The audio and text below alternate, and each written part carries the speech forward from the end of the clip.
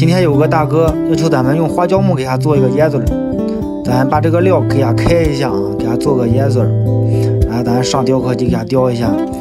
然后这个椰子是个排龙柱的，呃，这个嘴儿不不是圆的，咱需要手工打孔。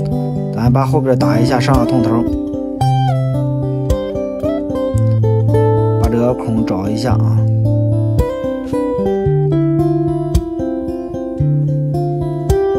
这样打出来了就行了，咱看一下。然后把铜头上上，咱来看一下整体的效果啊。花椒木盘龙柱叶子。